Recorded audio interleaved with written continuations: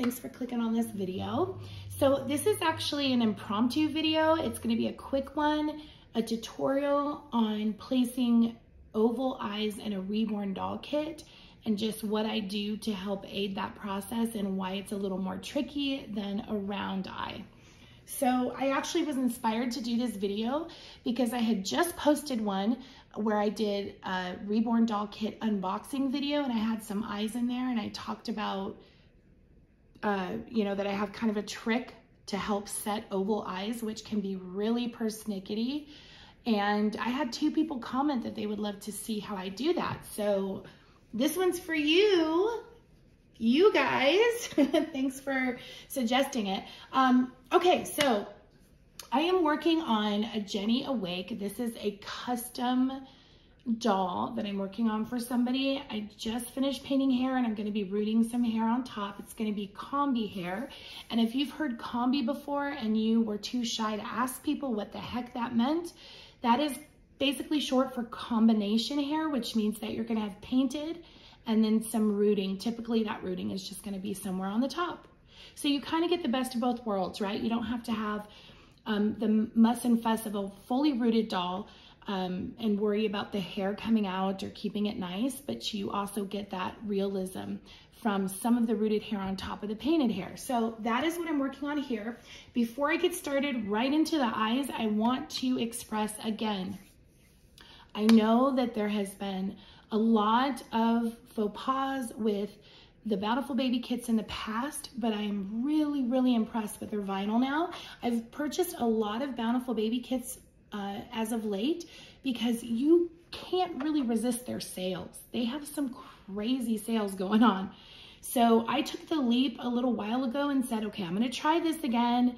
I kind of moved away from those kits and did only sculpted kits that you get from vendors, from artists that are sculpting the kits and having them produced because whatever factories they use typically are just better, like the vinyl's better. Um, Bountiful Baby vinyl kits are so much better now. They take paint beautifully. Um, I really love it.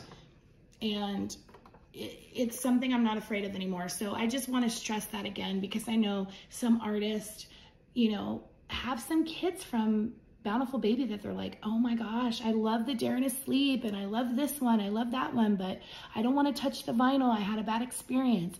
They are using another factory because the paint is taking beautifully and it's just really a dream to paint. No issues with paint not sticking for me at all.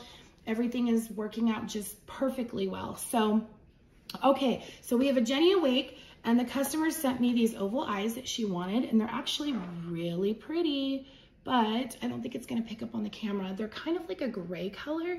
I love that. So when you put oval eyes in, so, um, okay, doll kits have round sockets. Let's see if I can get that visual here. Okay. Um, so you see that socket? It's round. That's the eye socket. And you see the slit and the light coming through because I took an X-Acto knife and I kind of slit it halfway so that I can insert an eye in there. See? There's a little flap now. I put the eye in and then you'll see it from the front. So with the oval eyes, obviously that's not the shape of the socket. The socket is totally round in here. Let me get back to it. Oh, there we go. So this is oval, so it's gonna kind of swim around there a little bit. So all you have to do is you insert the eye, and with oval eyes, let me talk about this really quick. Because they swim around there a little bit, sometimes they're gonna go that way. They're gonna go vertical, but you want them to be horizontal. So you gotta play with it a little bit and make sure that they stay horizontal because they can kind of move up that way. In fact, they might do that while we're playing with it right now. So um, I'm gonna stick the in into my little slit that I made, make sure that it's going horizontally. And let's see, there we go. So that's what it looks like, but you see how it's kind of just floating around in there? It's not really you know, filled out. So what I'm gonna do is take a sponge. I'm just gonna tear a piece of the sponge, really small piece, like that. And I'm gonna put that behind the eye. So in between, let's see if I can get this. See how you see the slit open? I have the eye in there. It's gonna be in between the eye and the back here. I'm gonna stick that little sponge behind it. And just play around with it. Oops, I dropped it, hold on. Play around with it a little bit. You might wanna cut it shorter, you know, or tear it a little bit shorter. It just depends on how much of a security blanket you kind of need back there. So, and I keep that in when I glue. So this is gonna also help you maneuver the eye and kind of get it to where you want it. And now it's really stuck in there really nicely. So we have one.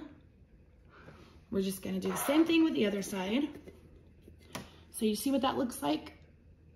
Uh, you kind of have let me see if I can get it to focus a little better. I keep hitting my, um, if you hear that noise, I have this um, really cool recliner that has like a button on the side to make the foot thing go out and I keep hitting it with my elbow. Okay, there we go. You see the cotton there just sticking out? I'm sorry, not the cotton, the sponge sticking out there? That's what it looks like. You're just gonna, you're gonna keep it there. You're, it's gonna be underneath all the glue that you put on when you're done. So we're gonna put the other eye in. Let me, there we go. Make sure it's, there we go. So we got that eye in, and then I already cut off a piece from this sponge here. I'm just gonna stick it in the back, so in between the eye and the flap. And um, it's gonna just make it easier to stay and it's gonna not wiggle around and swim around in there as much.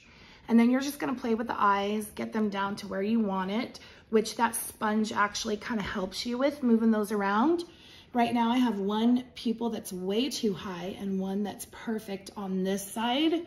So I'm just gonna, um, I'm gonna play around with that back here. There we go. You gotta get that pupil to match. I like the pupils to kind of sit on the waterline of the eye more than the middle, but there we go. So we have two eyes and two pieces of sponges. I, will probably play with them a little bit more. So what I recommend is just set the eyes, play with them. When you think you got them you know, matching, the pupils are kind of centered the same and all of that, then set it aside, go get yourself something to drink, go stick a load of laundry in, whatever, come back in 10 minutes and just stare at the baby, pick it up and look at it again. And if you feel like it's not looking directly at, directly at you or something's off, then, you know, move them around a little bit more.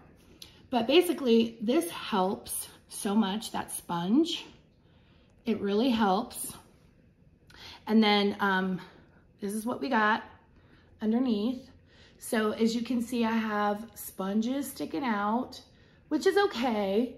If you want, you can trim those a little bit. So you can even cut, instead of using like a sponge this size, you can cut this in half, right? You can use this little piece. You can use just a little fat square piece. It's really your preference. But what the purpose of that is, is to give like, like a kickstand to the back of the eye. So it's not wobbling around and driving you crazy and driving the collector crazy once they get the baby. And then, um, you know, play with the eyes, set them right, and then you can glue. And just remember, you're gonna keep, even if you trim off those ends that are sticking out, which I typically don't, um, you still wanna glue those sponges in. So whether they're the pieces are sticking out of the socket or you trim them down so they're just inside the socket, doesn't matter. You still wanna keep them in as you glue. So you're gonna be gluing those in. So there we go. I hope that's helpful. Um, oval eyes can be tricky. They're a different shape than 99.9% of all of the eye sockets and doll kits. I get it. They're not the best, but they are cheaper because they're such a pain in the butt. Um, and if you, you know, want to get a nice glass eye that's cheaper, you're probably going to be looking at some oval eyes. Don't be afraid of it. Um, don't get too frustrated with it because you can do some modifications to help you get that placed better. So I hope that's helpful to you guys. If you have any other tricks about oval eyes, please leave the comments below. Um, I know that uh, another tip that you'll hear often is to size up. So the most common eye size for a reborn doll is gonna be 20 millimeters.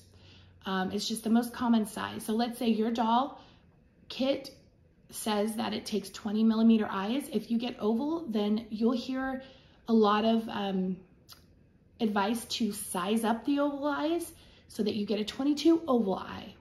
Or if you, you know, get a half round, you're gonna get exactly the size that the doll kit suggests. These are half rounds.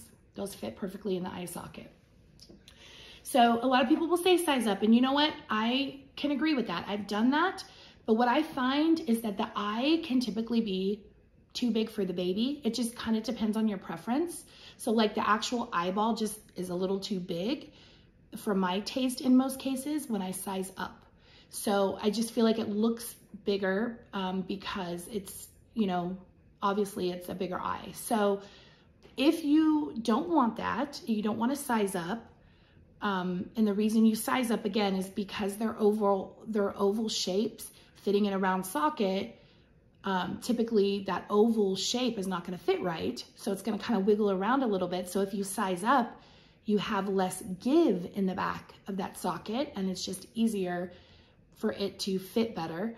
But that's another way to do it. It's a great suggestion. I personally like to go with the size eyes that they suggest, and I like to just um, use this sponge for a way to modify it.